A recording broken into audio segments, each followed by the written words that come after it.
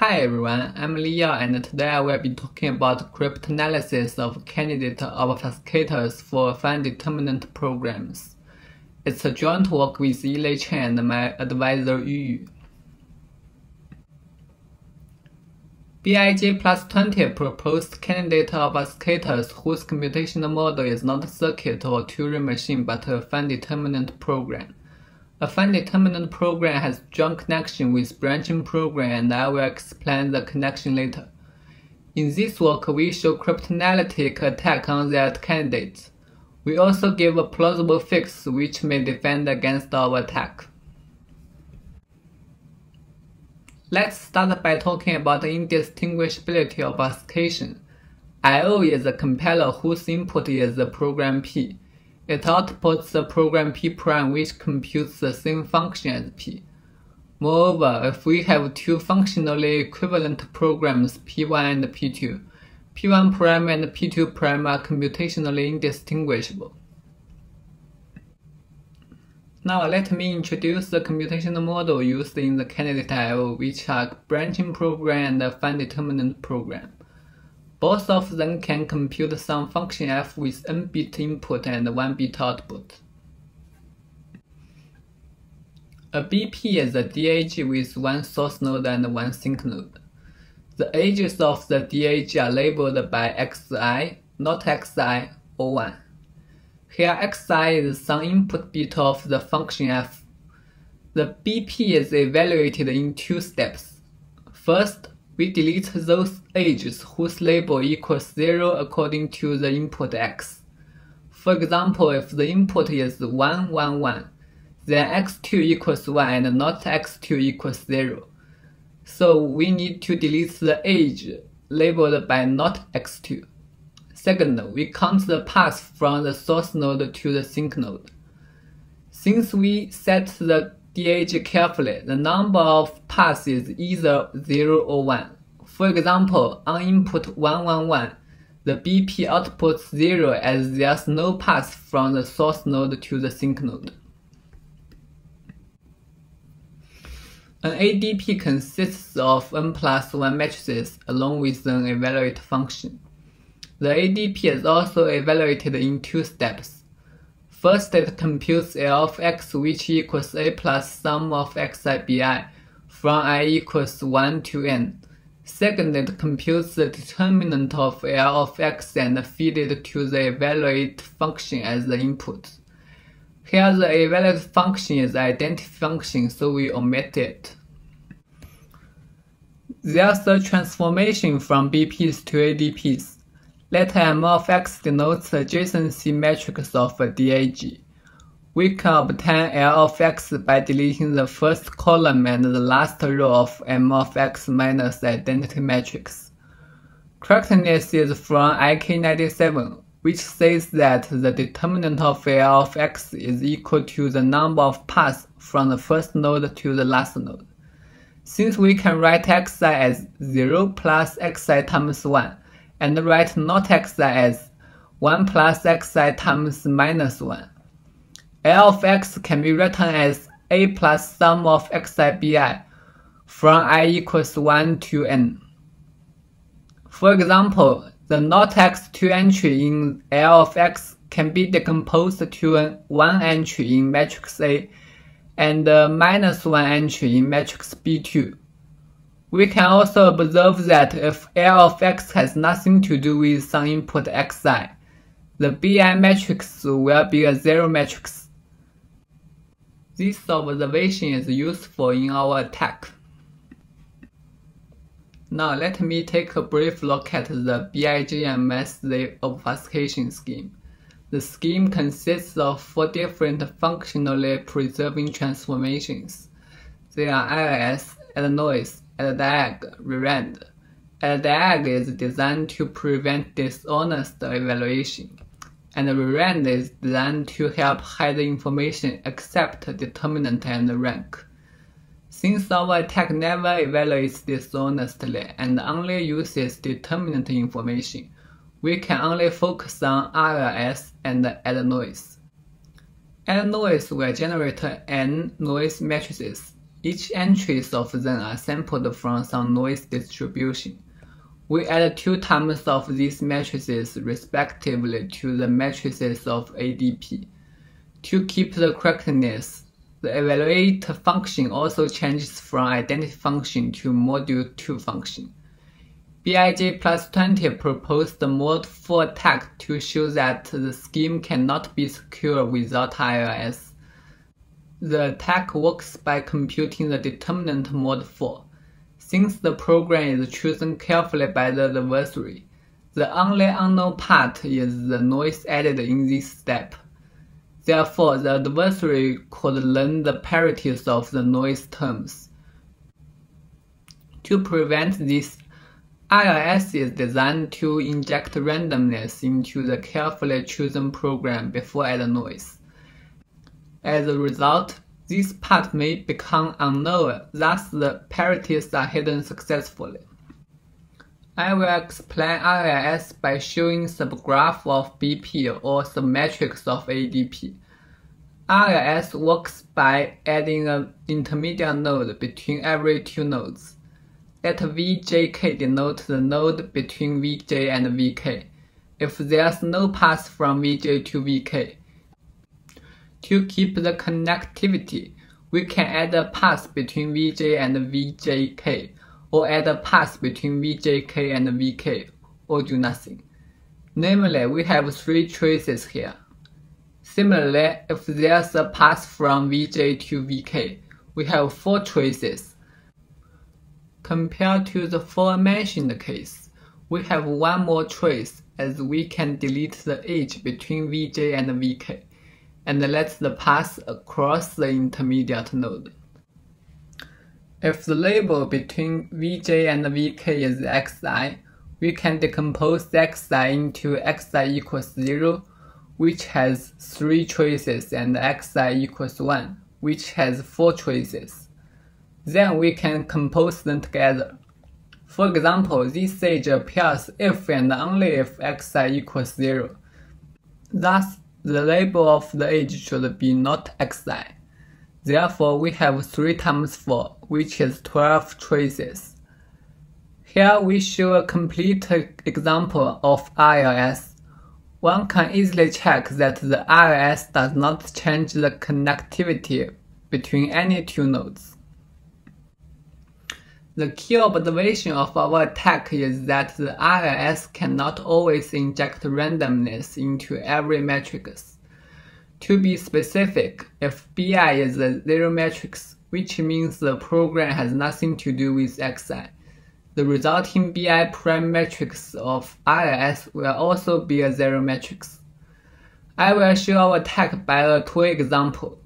Assume that we have an ADP whose B1 and B2 matrices are all zero matrices. After IIS, the B1 prime and B2 prime are zero matrices too.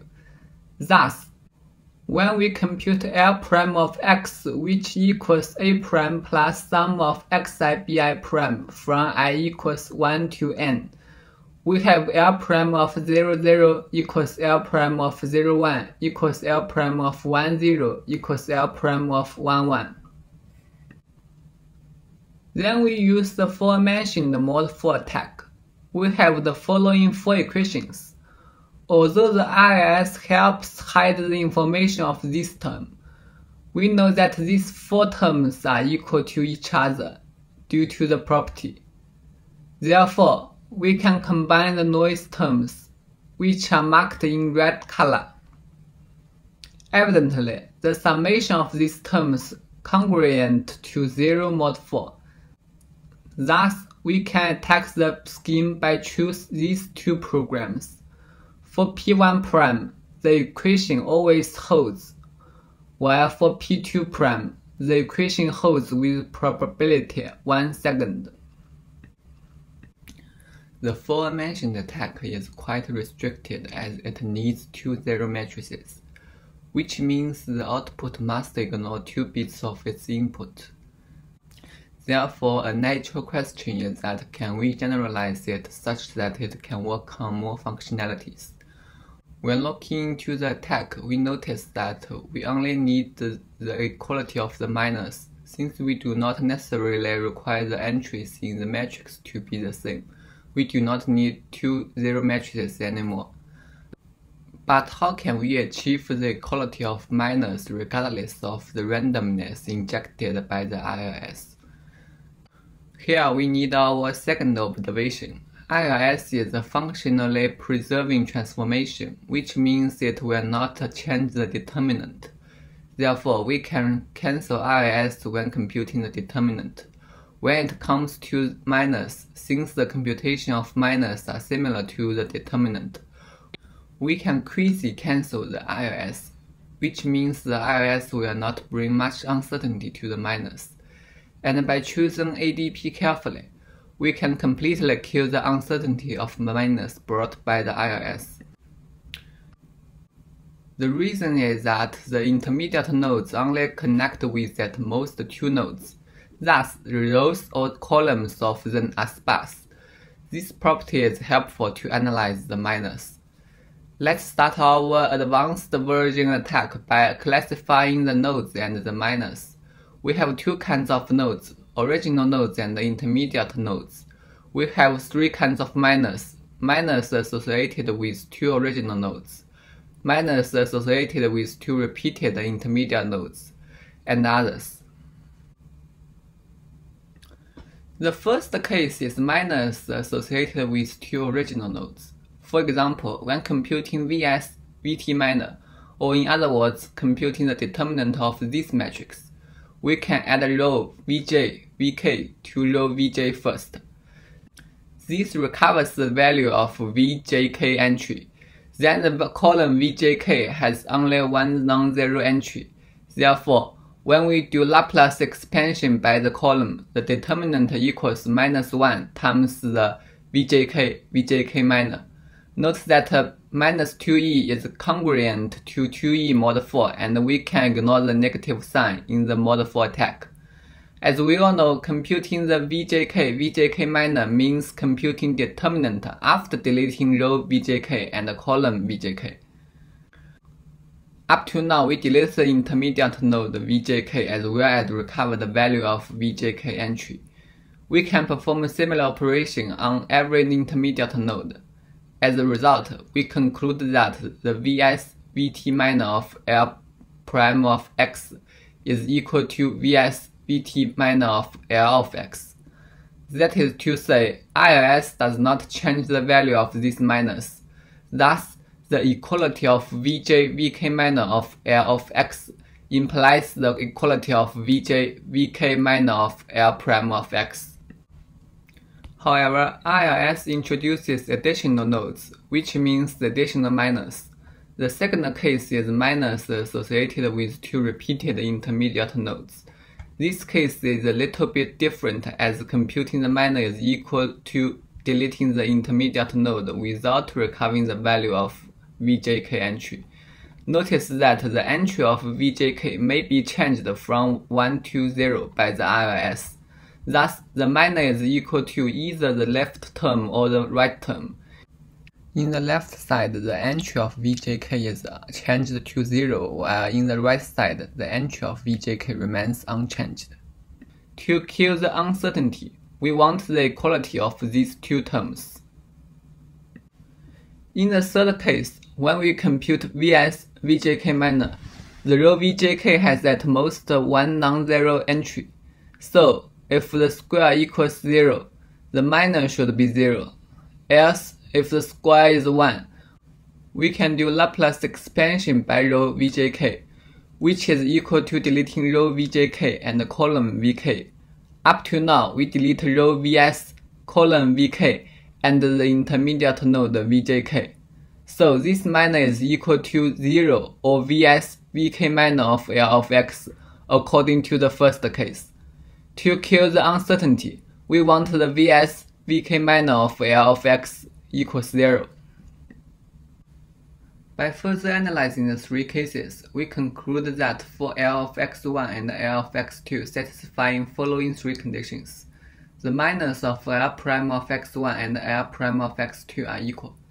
Regardless of the randomness injected by the IRS. We also give an example. Use the conclusion. One can easily check that for possible JK, the JK minor of these four matrices are equal. Thus, our attack can apply on it. Note that the function f depends on all input bits, which means we do break the limitation of base version attack. However, we feel difficult to figure out the exact scope of functionalities on which our attack could apply, because understanding functionality by ADP model is not intuitive. To fix the IRS candidate, we aim to break the first observation. For example, when Vj Vk entry is 0, apart from aforementioned three choices, we can have other choices which depend on some xi such like this.